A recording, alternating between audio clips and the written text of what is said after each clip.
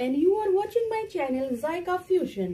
आज मैं आपके लिए बनाने जा रही हूँ कोकोनट मटर करी विदाउट अनियन एंड गार्लिक अगर आपको रेसिपी अच्छी लगे तो मेरी रेसिपी को लाइक और शेयर कीजिए और मेरे चैनल को सब्सक्राइब कीजिए। मटर कोकोनट करी बनाने के लिए मैंने 250 ग्राम फ्रेश मटर लिया है। अब मैं इसमें हाफ़ कप पानी डाल के इसे एक सीटी देकर कुकर में उबाल लूँगी। देखिए, पानी बिल्कुल थोड़ा सा है। ये मैंने दो मीडियम साइज़ के टमाटर लिए हैं। अब मैं इनका एक स्मूथ पेस्ट बना अब मैंने वन टीस्पून जीरा लिया है, एक इंच अदरक, चार लौंग, चार हरी इलायची और दो दालचीनी के स्टिक हैं और दो हरी मिर्च हैं। और ये थोड़ा सा हरा धनिया है। इन सब का एक पेस्ट बना लूँगी। कोकोनट मटर करी बनाने के लिए देखिए मैंने ये कढ़ाई ले ली है। अब मैंने इसमें one tablespoon refined oil और वन टेबल स्पून देशी घी डाल लिया है। अब ऑयल को अच्छे से गर्म कर, अच्छे से गर्म हो गया है। अब मैं इसमें एक तेज पत्ता और एक लाल मिर्च डाल दूँगी। अब फ्लेम को सिम पे करके जो टोमेटो पेस्ट रखा था, वो धीरे धीरे से डाल टोमेटो पेस्ट डालने के साथ ही चलाते रहिए अब एक मिनट बाद जो मैंने दूसरा पेस्ट बनाया था मसालों का, उसमें half teaspoon turmeric powder मिला के मैं इसमें ऐड कर दूँगी।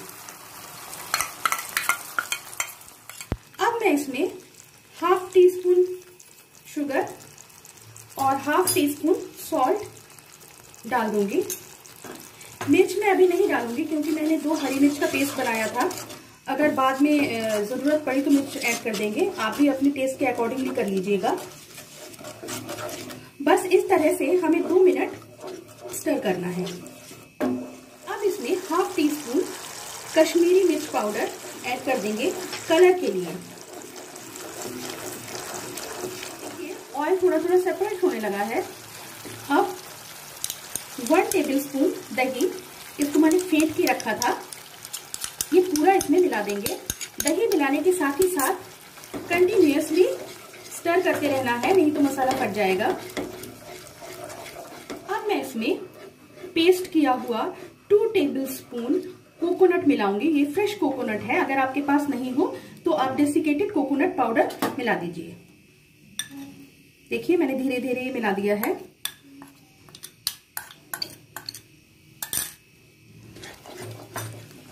फिर से कंटिन्यूसली स्टर करते रहिए।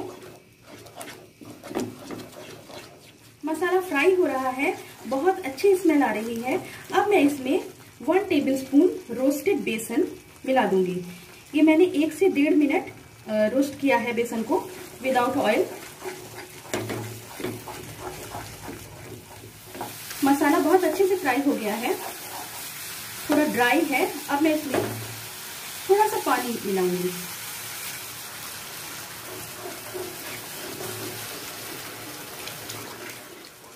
पानी मिलाने के बाद कंटिन्यूसली एक मिनट स्टर करते रहिए। उसके बाद, देखिए, मैंने मटर बॉईल करके रखी थी, इसमें बिल्कुल भी पानी नहीं है। थोड़ा सा पानी डाल के मैंने मटर को बॉईल किया था। ये पूरा इसमें डाल देंगे।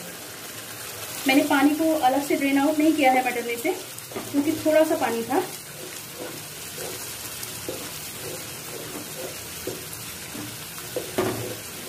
अगर लगे कि ग्रेवी थोड़ी सी और बनानी है तो थोड़ा सा पानी और ऐड कर सकते हैं।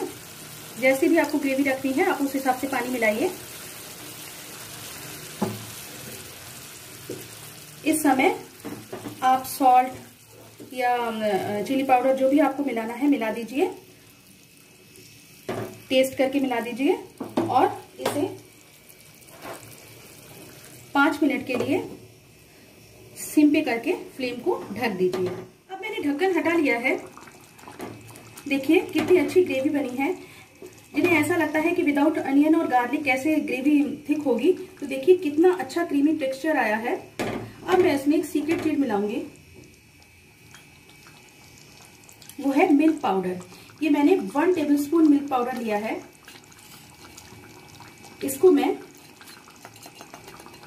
करी में मिला दूँगी। इसके बाद आप चलाते रहिए।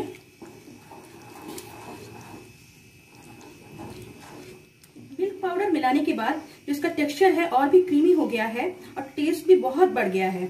अब मैं इसमें वन टीस्पून कसूरी मेथी रोस्टेड मिला दूँगी।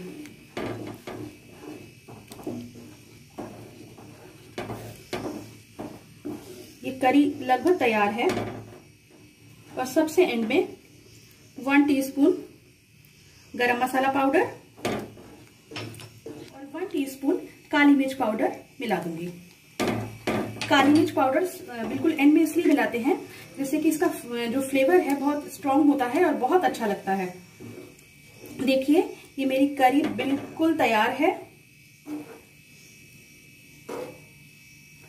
इसे आप रोटी के साथ, पराठे के साथ या चावल के साथ, जिसके भी साथ चाहे, बहुत अच्छी लगती है।